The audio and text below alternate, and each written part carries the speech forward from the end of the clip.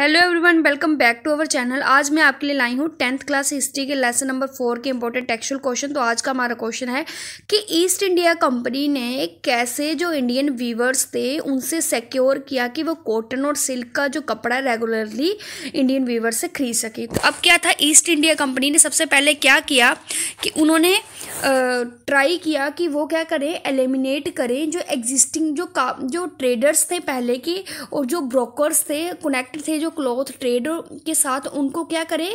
ख़त्म करें और एस्टेब्लिश करें एक डायरेक्ट कंट्रोल किन के ऊपर इंडियन वीवर्स के ऊपर। इसलिए उन्होंने क्या किया था?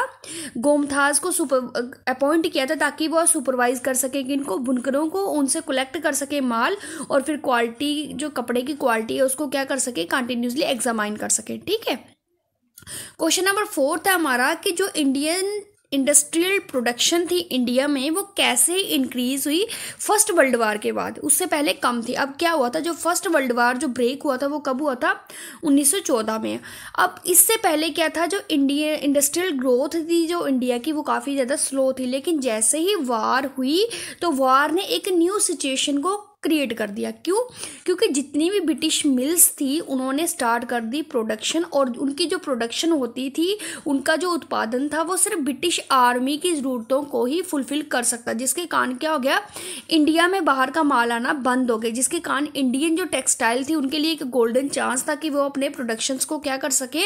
इंडिया में सप्लाई कर सके। लेकिन अब क्या हो गया, जो इंडियन जो ब्रिटिश मिल्स थी, वो अकेली ही जो बार की ज़रूरतें थी ब्रिटिश आर्मी की जो ज़रूरतें थी, लड़ाई के दौरान, उनको ब्रिटिश मिल अकेला कंप्लीट फुलफिल नहीं कर सकती, जिसके कारण क्या हो गया, उनको इंडिया इंडियन मिल्स के ऊपर डिपेंड होना पड़ा कि वहाँ से वो अब अपनी ब्रिटिश आर्मी की ज़रूरतों को फुलफ़िल करने लगे। जैसे कि आर्मी के लिए jute bag cloth uniform tents leather boot horse और जो म्यूल सैडल्स होते थे, और नंबर ऑफ़ अदर आइटम्स के लिए अब वो इंडिया के जो इंडस्ट्री थी, उन इंडस्ट्रियल जो प्रोडक्शन थी, उसकी तरफ़ देखना शुरू हो गए।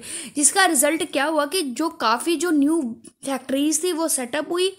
काफ़ी न्यू वर्कर्स को एम्प्लॉयड किया गया और वर्कर्स को काफ़ी लंबे समय तक काम करने के लिए कहा गया, जिसके कारण क्या हो गया, जो इंडिया की इंडस्ट्रियल प्रोडक्शन थी, वो काफ़ी ज़्यादा इंक्रीज होगी आफ्टर फ़र्स्ट